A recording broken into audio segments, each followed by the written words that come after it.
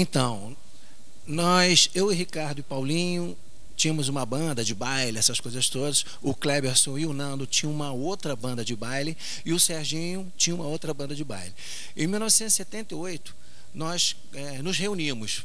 Viemos três, mais dois e mais um e fizemos, continuamos a banda que era do Nando e do, e do, e do Kleberson, o- o- os Funks. Aí ficamos mais dois anos tocando com esse nome, fazendo o baile. Em 1980, o Máriozinho descobriu a gente trabalhando dentro de um estúdio, fazendo um trabalho. Gostou muito da gente, Máriozinho Rocha, gostou muito do trabalho da gente e chamou a gente para fazer um trabalho de MPB. E ele falou: Como vocês já existem, vocês têm um rótulo, vamos fazer, dar uma nova roupagem no trabalho de vocês, roupa nova. Aí gravamos a música do Milton Nascimento, que tem esse nome, né? E pra gente foi o maior barato que a gente tem hoje, né? A gente tá, tá, tá com 30 anos de trabalho, graças a Deus, nós fizemos uma carreira. De tocar um instrumento e de cantar. Essa música a gente gravou com o Milton. Tá no. DVD da gente. Três e quatro.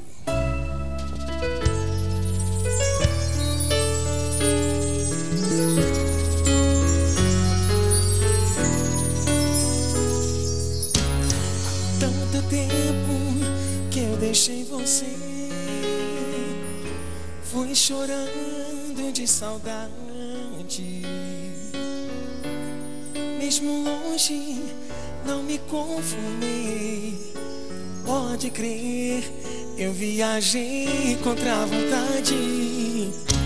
O teu amor chamou e eu regressei.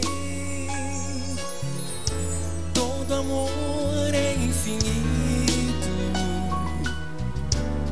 Noite e dia no meu coração. Trouxe a luz do nosso instante mais bonito. Na escuridão, teu olhar me iluminava. E minha estrela guia era o teu riso. Coisas do passado são alegres quando lembram novamente as pessoas que se amam. Em cada solidão vencido eu desejava o reencontro com teu corpo. Adorada, viajei tantos espaços pra você caber assim no meu abraço. Te amo.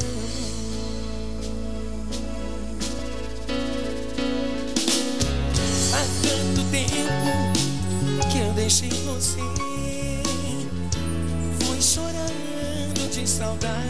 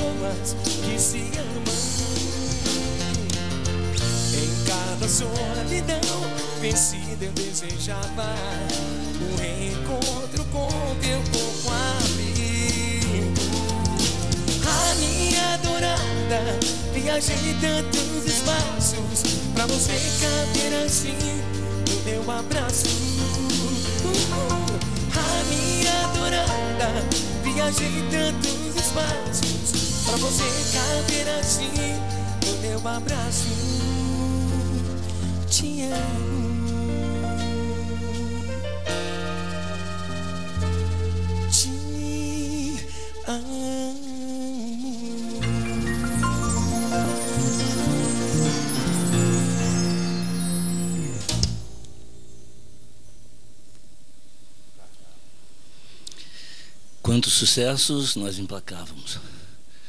Olha, graças a Deus, a gente, desde que começou, a gente tinha uma média, às vezes, de dois, três, já- acho que já chegamos até quatro por disco. A gente conseguiu uma média muito boa, felizmente. Cidade, cidade, estado, tudo? Eu nasci em Manhumirim, Minas Gerais. E, quer dizer, sou mineiro de nascimento e carioca de coração, né? Estou no Rio desde criança. Na verdade, começar a tocar foi por causa do meu pai, que era músico, e eu era criança, pedi um acordeão a ele, ele acreditou e me deu o acordeão. Não, é, é sério, eu, eu gostava porque eu via tocar e acabei tendo que aprender, e na verdade foi bom, né? Que depois do acordeon aí vieram os Beatles e tal, passei para guitarra, desisti, passei para piano.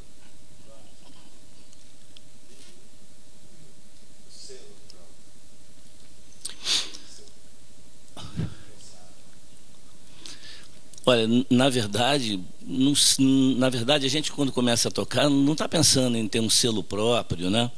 É uma coisa que a coisa vem amadurecendo com o tempo e naturalmente a coisa chega aí e felizmente a gente está com o nosso selo.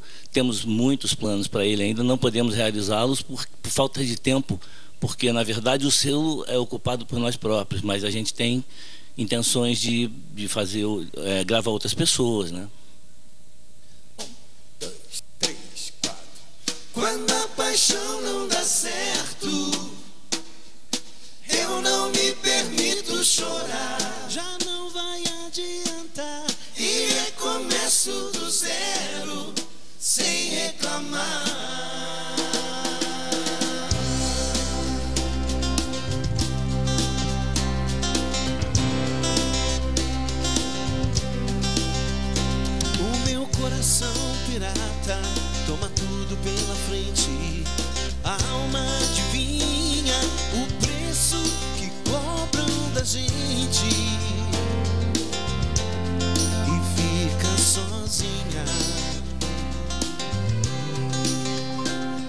Levo a vida como eu quero. Estou sempre com a razão. Jamais me desespero. Sou dono do meu coração.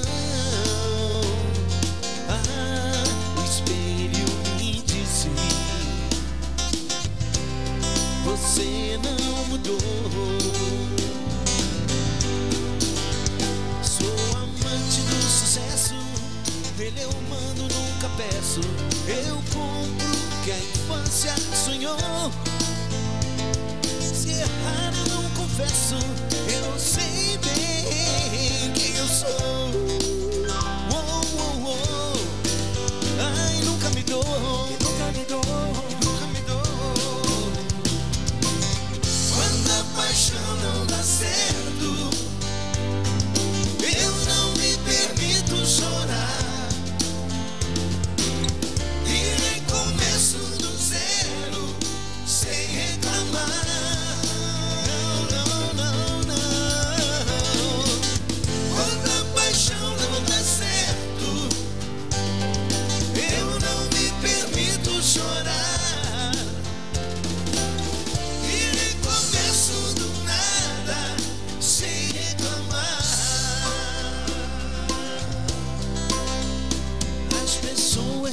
se convencem de que a sorte me ajudou. Plantei cada semente que o meu coração desejou. Ah, o espelho me disse: Você não mudou. Oh, não. Sou amante do sucesso. Nele eu mando, nunca peço.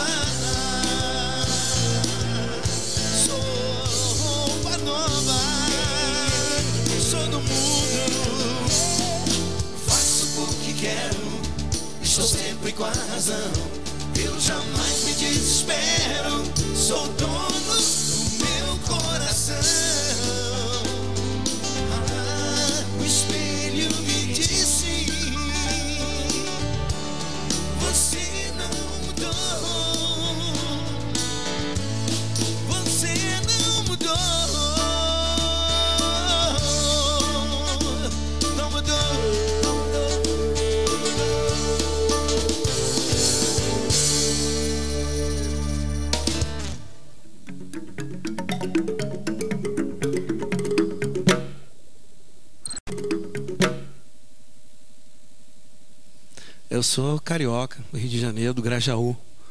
Né? De lá do Grajaú a gente assistiu ao Rio de Janeiro inteiro pegar em armas, quer dizer, pegar em guitarras e baterias na época dos Beatles, 60 e pouco.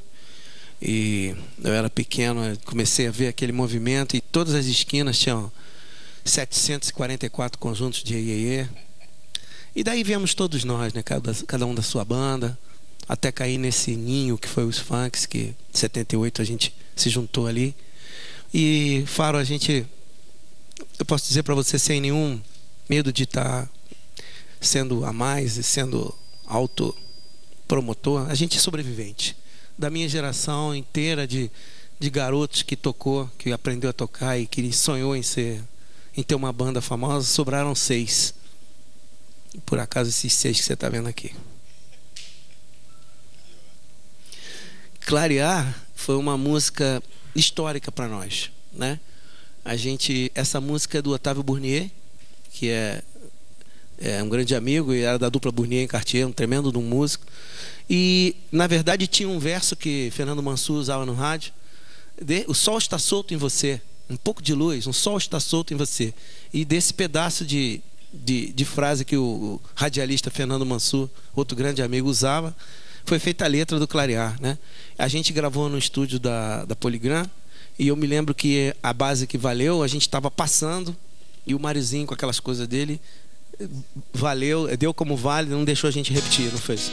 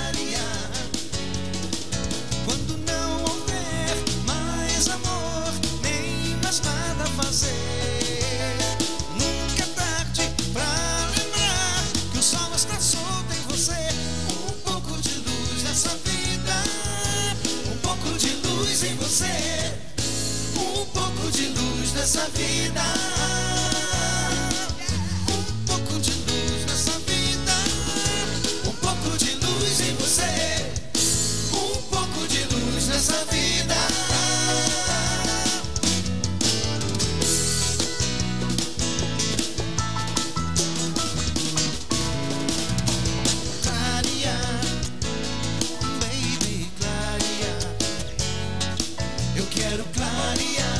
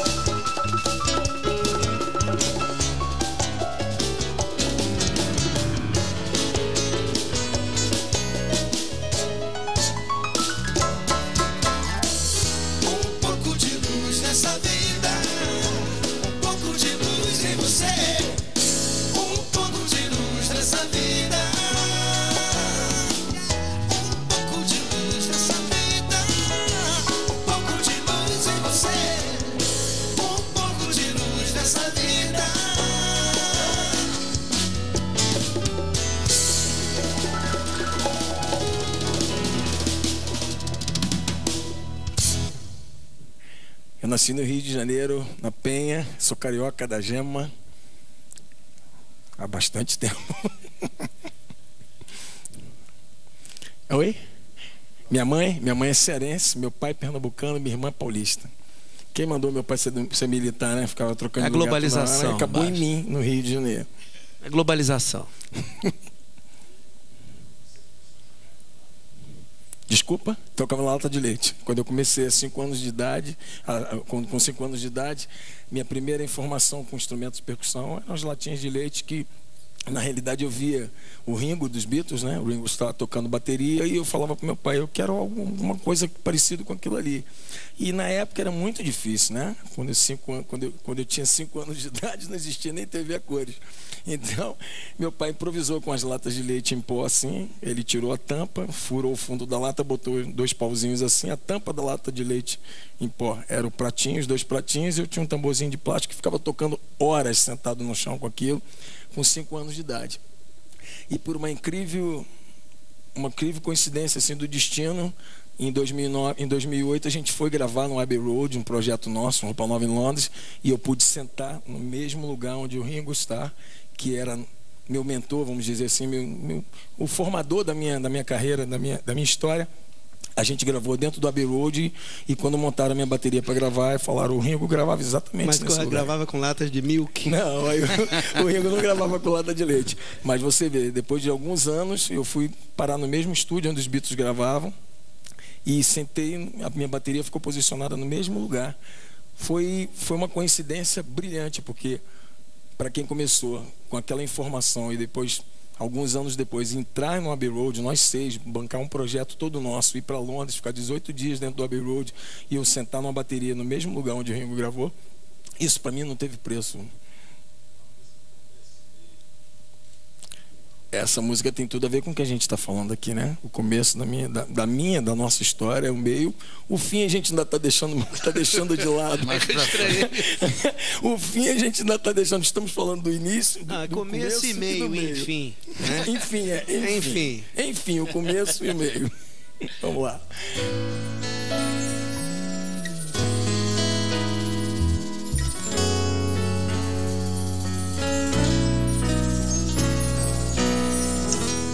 A vida tem sons que pra gente ouvir precisa entender que um amor de verdade é feito canção, qualquer coisa assim que tem seu começo, seu meio seu fim. A vida tem sons que pra gente ouvir precisa aprender começar de novo. É como tocar o mesmo violão e nele compor uma nova canção fale de amor, que faça chorar, que toque mais forte esse meu coração.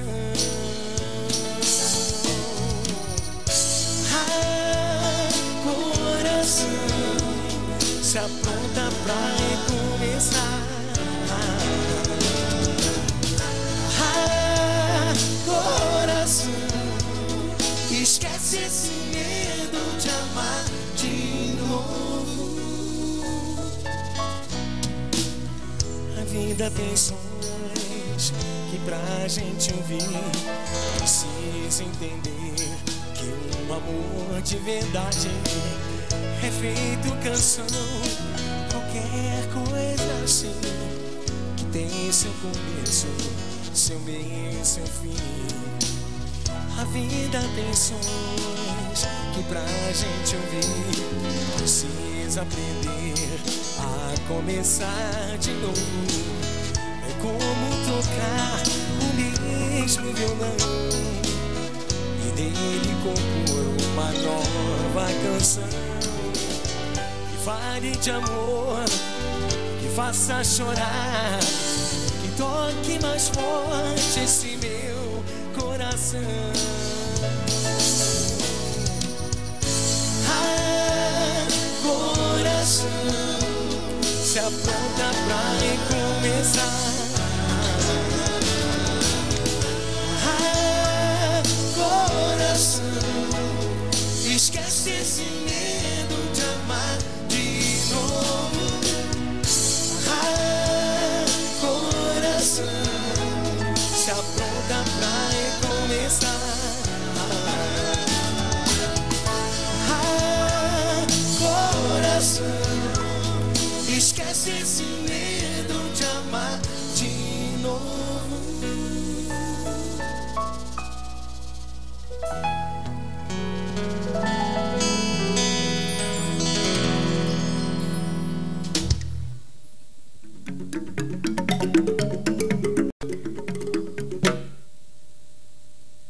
Nasci no Rio de Janeiro, no centro do Rio de Janeiro, na Rua do Riachuelo, eh, na Sociedade Espanhola de Beneficência, ou seja, no centrão do Rio de Janeiro mesmo. Carioca da Gemassa mesmo. Não, não, não tem músico na família, não. A minha irmã fez música e tal, estudou um pouco de piano, mas é a primeira pessoa que eu vi que gosta de teoria e não gosta de tocar. Mas ela aprendeu teoria, se formou em teoria, mas não toca nada. Ela vai assistir o programa, Paulinho. Vai, e ela vai sabe disso que ela gosta só de teoria mesmo. Aonde? As dublagens do The As Platters. The Platters? Ih, rapaz, quando eu era criança, toda festa que tinha, tava lá o, o anão fazendo um montão de presepada. E a música pre- minha preferida era essa música do Only You do The Platters. É. Only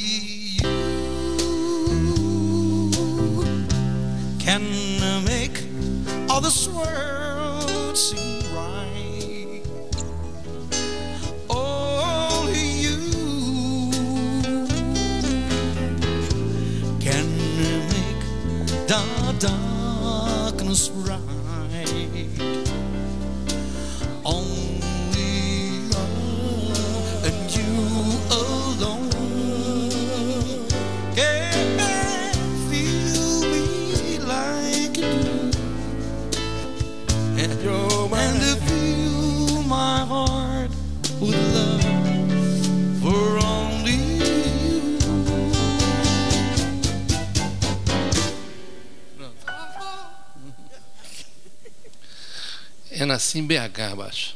Belo Horizonte. Saí de lá, viajei muito, né? Meu pai também era igual o Serginho, viajava muito, era, só que era comerciante, não era militar. Aí abri uma loja ali, fechava, não pagava aluguel, tinha que mudar. Daí saía mudando muito. Tanto que lá em casa, meu pai é libanês, minha mãe é carioca, minha avó paulista, minha irmã paranaense, eu sou mineiro. É a globalização. Globalização. Outra. Outra globalização. É. Ah, a gente precisava de um símbolo do Roupa Nova aqui que mostrasse essa nossa amizade, essa nossa união de tantos anos.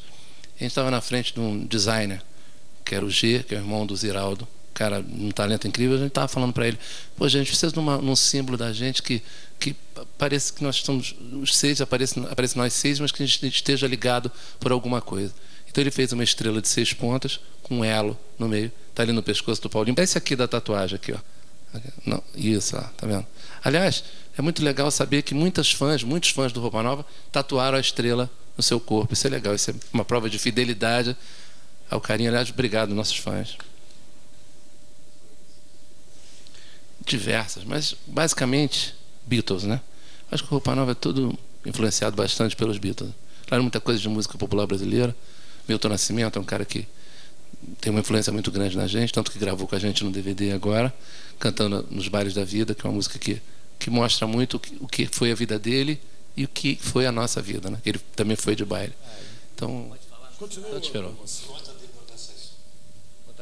Fala mesmo, Fegai, da Rádio Cidade mesmo. Fala Rádio mesmo. Cidade. Nando, faz aí aquela, aquela, aquela vinheta que a gente gravou que quando o Máriozinho escutou a gente pela primeira vez assim. Ah. Isso é uma música do Chique. Que o Máriozinho, quando viu a gente gravar, foi uma mensagem de final de ano para uma rádio, para a Rádio Cidade Rio de Janeiro, a rádio que dominou o FM naquela época.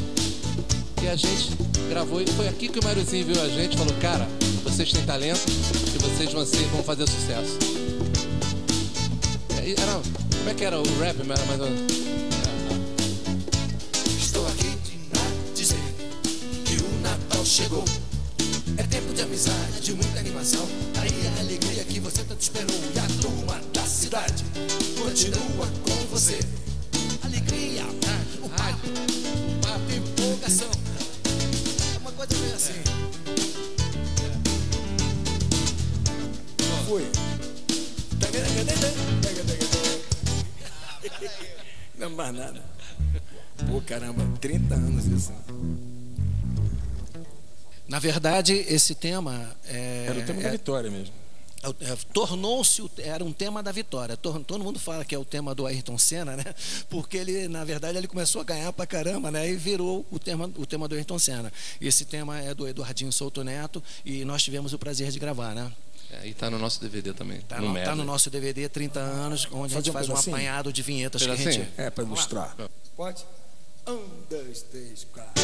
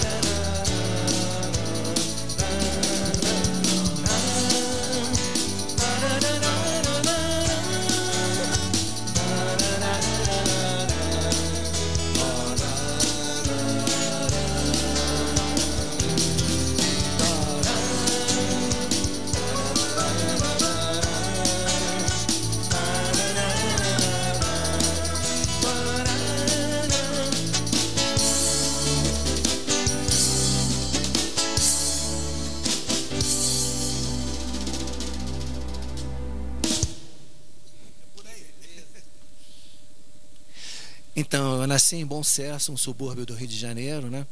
Vivi lá durante 57 anos, me mudei ano passado. Então quer dizer que ele tá com 62. né?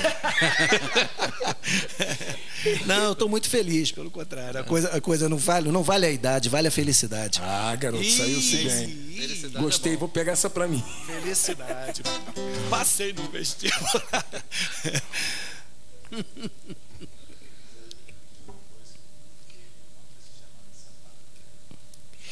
Então, Sapato Velho foi é, do primeiro LP do Roupa Nova, né? Essa música já Que- tinha sido é gravada. É, LP é long play, né? Essa música já tinha sido gravada pelo uh, MPB4. quarteto em si, né? se, eu Quarteto não me em si, engano, desculpa. se eu não me engano. E o Máriozinho pensou essa música, ela era de uma forma totalmente diferente. E ele pensou essa música e falou: olha, vocês gravando essa música, meio Queen, com guitarras, vocal, bastante vocal, com aquelas coisas todas, bateria, órgão, nessas coisas todas, pianos e tal, ela vai crescer muito. E essa música realmente virou praticamente o hino do Roupa Nova, que é, além de ser a canção que a gente mais se identifica, né? Porque todas as canções são nossos, nossos filhos, né? É a canção que de repente a gente mais se identifica por ser uma das primeiras, né? E também pelo vocal, pelo o comentário que as pessoas fazem em relação ao trabalho que nós fizemos, isso em 1980, até hoje as pessoas ainda gostam muito. Pode. Um, dois, três. Você lembra, lembra daquele tempo eu tinha estrelas nos olhos, um jeito de herói. Era mais forte e veloz que qualquer mocinho de cowboy.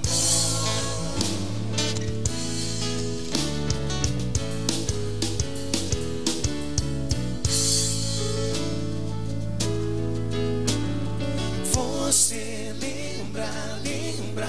Eu costumava andar bem mais de mil éguas pra poder buscar flores de maio azuis e os seus cabelos enfeitar. Água da fonte cansei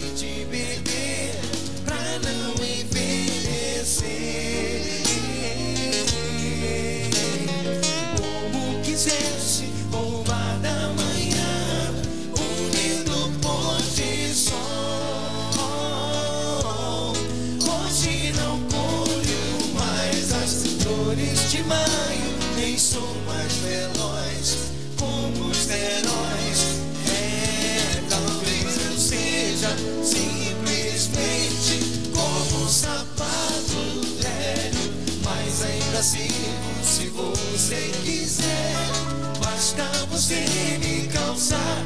Eu aqueço o frio dos seus pés. Água da fonte, cansei de beber pra não envelhecer. Como quisesse roubar a mão.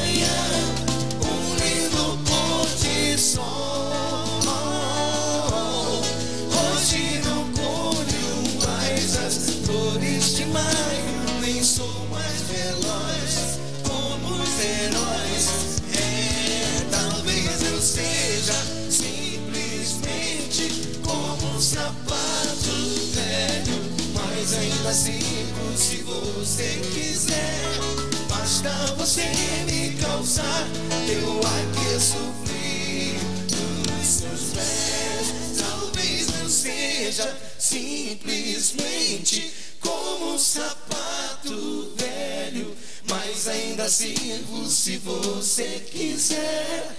Basta você me calçar, que eu aqueço o frio dos seus pés.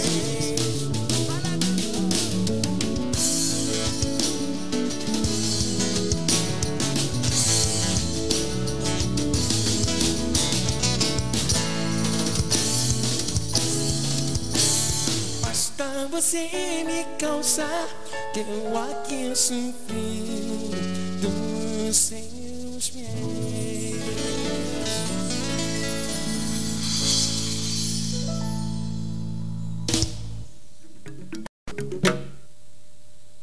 Nós somos recordistas de músicas em novelas, né? De trilha de novela. É, a gente estava perdendo pro Ivan Lins, a gente colocou mais uma canção, então o Ivan está em segundo lugar e a gente está em primeiro. Está até no livro dos recordes, tá? É, é uma grata satisfação, sabe? Você ter fazer parte da trilha sonora das, da vida das pessoas, porque o brasileiro, o povo brasileiro é muito ligado em telenovela, né? Então você liga a televisão, tem uma canção tua tocando ali, às vezes uma canção daquela é carregada ou carrega um personagem importante. Então a, a, a, a, a novela, não só, só a novela, mas a canção, ela, ela caminha lado a lado do personagem e do sucesso da novela. E depois de 30 anos, realmente, a gente coleciona alguns, alguns sucessos. O Dona é um deles. Nós fomos para Portugal, Porto Rico. é, de, de uma forma, nós fizemos uma turnê internacional por causa do, do Dona. Vamos tocar um pedacinho.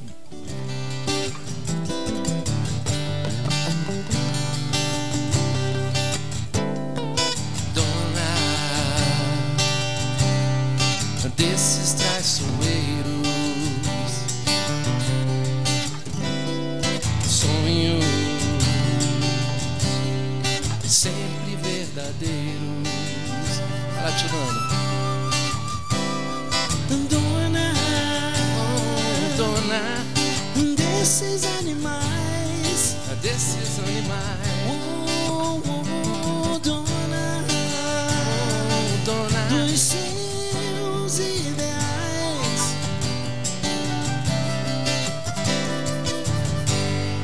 Pelas ruas onde andas, onde mandas, todos nós somos sempre mensageiros esperando tua voz. Teus desejos uma ordem, nada é nunca, nunca é não. Porque tens essa certeza dentro do teu coração. Tan, tan, tan, batei na porta, não precisa ver quem é. Pra sentir a impaciência do teu pulso de mulher. Um olhar me atira a cama, Um beijo me faz amar. não levanto, não me escondo, porque sei és minha. Dona, dona, dona, dona, dona. Desses traiçoeiros,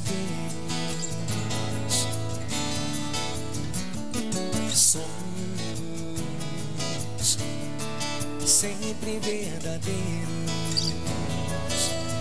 Oh, oh, oh. Não há pedra em teu caminho, não há ondas no teu mar, não há vento, tempestade que te impeçam de voar.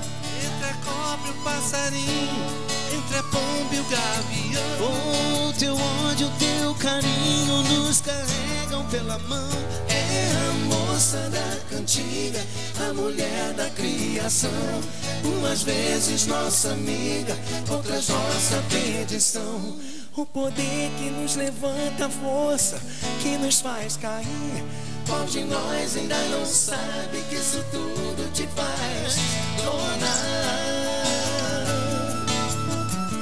Oh, dona.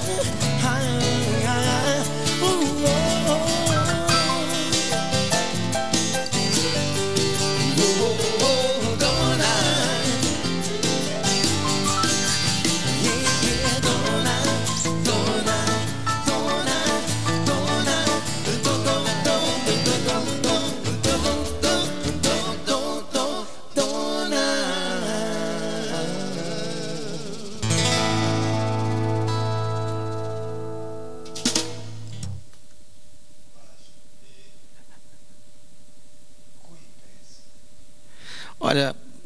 a imprensa eu, eu tenho um pouquinho.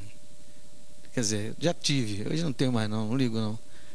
Mas teve uma época que a imprensa meteu a ripa na gente, porque a gente era uma, uma banda que vinha de baile e não sei por que tanta gente boa veio, veio de baile, como o próprio, Próprio Milton, Milton. Milton Nascimento disse. Eu vim de baile e sou Milton Nascimento e eu acho que não tinha o porquê dessa coisa incisiva em cima do Roupa Nova, sabe? Tendenciosa, a troco de nada. Era uma banda que estava fazendo o seu trabalho, aliás, com todo respeito com o público, fazendo com o maior carinho do mundo. E eu não entendi o porquê dessas espetadas e alfinetadas sem necessidade. Então eu fiquei muito tempo magoado com a, com a imprensa, principalmente escrita. Ah, a falada deixa falar, deixa falar quem quer falar, mas a escrita principalmente. Mas de qualquer maneira, foi- coisa que foi e se falam hoje alguma coisa também entra por aqui, sai por aqui. Mas o Nando é que fala uma coisa muito legal do, do Roupa Nova, Nando. Como é que é? que você- que- como é que se define o Roupa Nova, Nando? Rapaz, eu, eu não vou falar aquelas frases que eu falo sempre, não. Hoje eu tô afim de falar mesmo. Posso? Pode. Baixo vai deixar, não? Baixo, sabe o que é que é? É que ao longo do tempo se inventou uma profissão que é analista. Eu sou muito bronqueado com analista, porque o analista normalmente não sabe tocar.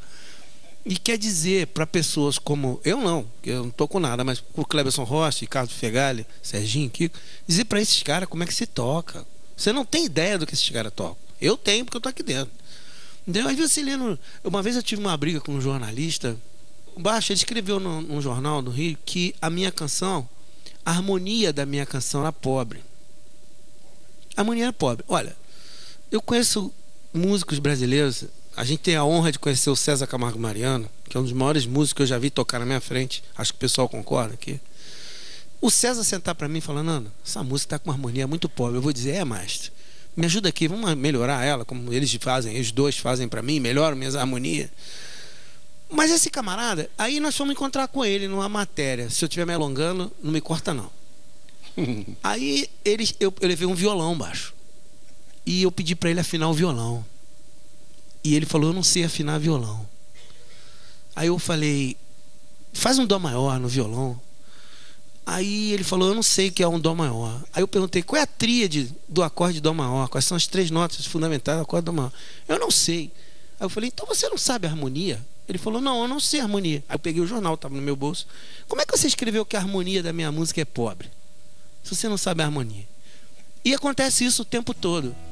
Para me desculpar, mas você que é crítico, aprenda, vai estudar e depois liga pra gente, fala o que a gente tem que fazer, que a gente vai estar aqui te ouvir, te dar uma força. Nos bailes da vida, num bar, em troca de pão. Que muita gente boa pôs o pé na profissão de tocar um instrumento e de cantar. Não importando se quem pagou quis ouvir. Foi assim. Cantar era buscar o caminho que vai dar um som.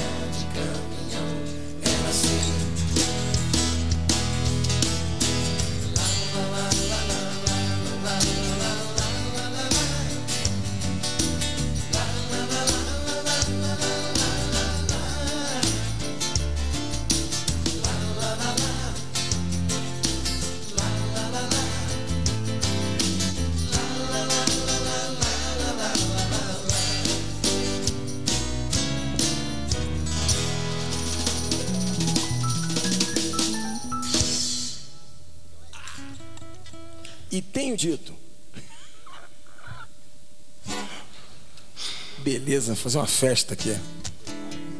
Isso, Paulo Michael Sullivan. De Milton Nascimento ao Michael Sullivan.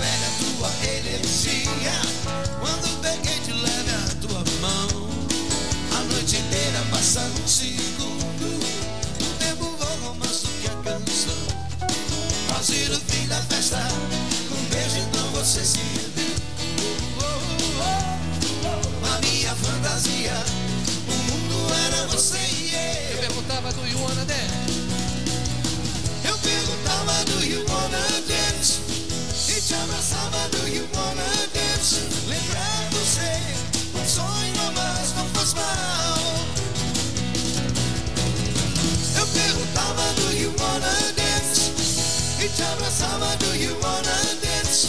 Lembrar você, um sonho.